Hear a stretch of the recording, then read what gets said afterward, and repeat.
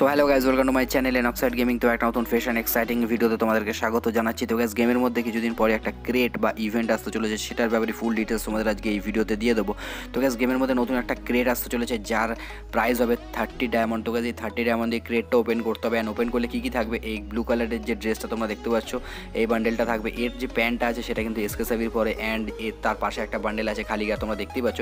তো গাইজ এই দুখানা বান্ডেল থাকবে। অ্যান্ড এই দুখানা বান্ডেলের সাথে থাকবে পিঙ্ক ডায়মন্ড ওকে তো গাইজ তোমাদের এখানে কী করতে হবে? থার্টি ডায়মন্ডে ক্রিয়েট ওপেনিং করতে হবে অ্যান্ড ক্রিয়েট ওপেনিং করে তোমাদের যে লাখ ভালো থাকে তোমরা ড্রেসগুলো পেয়ে যাবে। আদারওয়াইজ না দশটা, পাঁচটা করে পিঙ্ক ডায়মন্ড পাবে। তো পিঙ্ক ডায়মন্ড দিয়ে তোমরা এই ড্রেসগুলোকে রিডিম করতে হবে। শুধুমাত্র দশটা যদি তোমরা পিঙ্ক ডায়মন্ড জোগাড় করতে পারো যে কোনো একটা তোমরা নিতে পারবে জামা, প্যান্ট, চশমা, জুতো, এগুলো নিতে পারবে। দশটা করে শুধুমাত্র পিঙ্ক ডায়মন্ড লাগবে। তোমার দেখতেই পাচ্ছ, তোমাদেরকে জাস্ট বলব, তোমরা এখন থেকে ভিডিও দেখা শুরু করো তখন কি ভিডিও দেখলে আমাদের পিঙ্ক ডায়মন্ড দেয় অ্যান্ড পিঙ্ক ডায়মন্ডে কিন্তু এগুলো দিয়ে দেবে।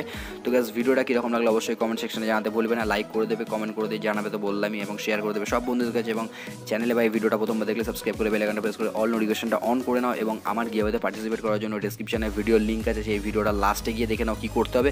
তো আজকের জন্য এটুকু দেখা হচ্ছে নেক্সট ভিডিওতে ততক্ষণের জন্য বাই লাভ সবার খেয়াল লাগবে নিজের খেয়াল লাগবে সাবস্ক্রাইব না করে কিন্তু যাবে না। চলো গেস্ট টাটা।